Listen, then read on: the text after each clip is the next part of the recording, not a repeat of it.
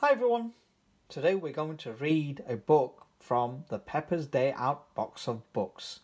It's a book collection with four books. It has Peppa at the Beach, Peppa at the Petting Farm, Peppa's Castle Adventure, and Peppa at the Museum.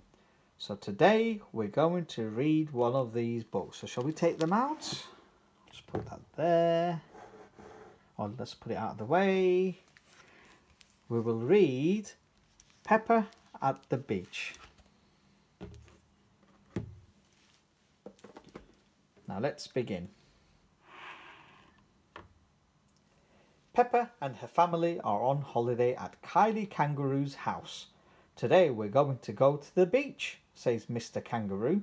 Yippee, cries Peppa. I love the beach. Mummy Pig helps the children put on their sunscreen and life vests. Kylie gets out her surfboard. What do you want to do with that? asks Peppa. You lie on the board and the waves push you along, says Kylie. Come and see. Kylie shows Peppa how to surf. The tricky bit is catching the wave, she says. Ready, steady, now! Peppa and Kylie jump on their surfboards just in time. The waves carries car, the wave carries them along. I can surf, laughs Peppa.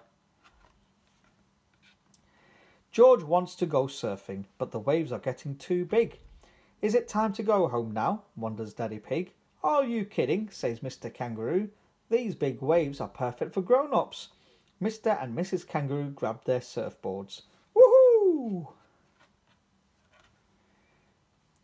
After a little while, the waves go away again. Mr. and Mrs. Kangaroo come back in from the sea.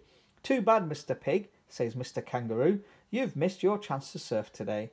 Daddy Pig doesn't mind. Now the water is just right to take George for a swim. Daddy, George and Daddy Pig are having a lovely time in the water. Crikey, gasps Mr. Kangaroo. There's a giant wave coming.